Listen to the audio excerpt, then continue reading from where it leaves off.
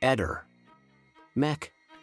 Pallister. Trieste, città di confine e crocevia di culture, si trova oggi al centro di un clima di crescente sfiducia nei confronti delle istituzioni, in particolare della giustizia. La recente scomparsa e morte di Alex Marangon, un giovane barman di 25 anni, ha sollevato interrogativi inquietanti sul funzionamento delle indagini e sull'efficacia delle autorità nel fare luce su un caso che presenta numerosi punti oscuri. La madre di Alex, Sabrina Bosser, esprime una frustrazione palpabile. Siamo demoralizzati, arrabbiati, perché vediamo che è tutto fermo. Queste parole risuonano non solo come un grido di dolore, ma anche come un appello alla responsabilità da parte delle autorità competenti.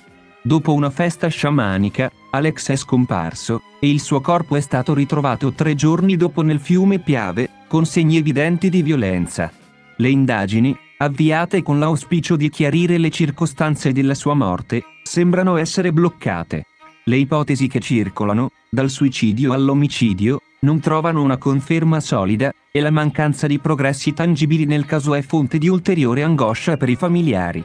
Non ci sono indagati, né nulla è stato messo sotto sequestro, denuncia Bosser, mettendo in evidenza l'enorme gap tra le aspettative di giustizia e la realtà dei fatti.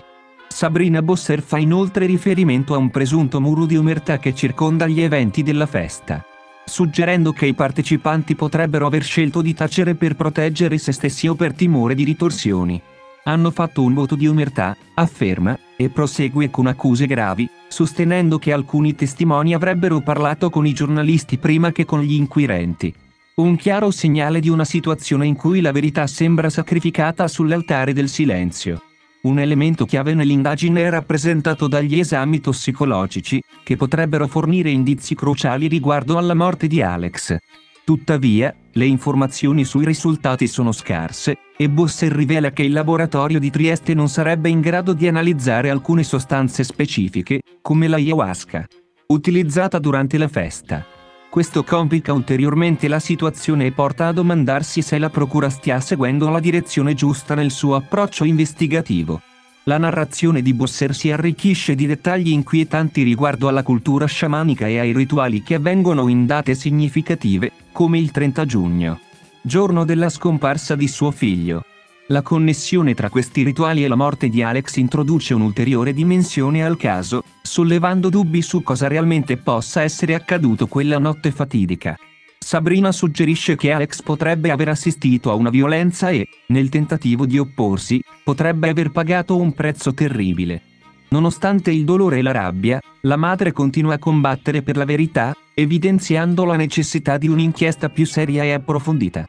L'assenza di indagini concrete e la sensazione di abbandono da parte delle autorità gettano un'ombra inquietante su Trieste, un luogo che, nel suo passato, ha visto speranza e rinascita. Oggi, invece, sembra che la giustizia non riesca a trovare il suo posto, lasciando le famiglie in un limbo di incertezza e sofferenza. Il caso di Alex Marangon non è solo una questione personale, ma un campanello d'allarme per la società triestina. La mancanza di trasparenza, la paura di parlare e l'inefficacia delle indagini sollevano interrogativi su quanto sia sicuro e giusto il nostro sistema di giustizia.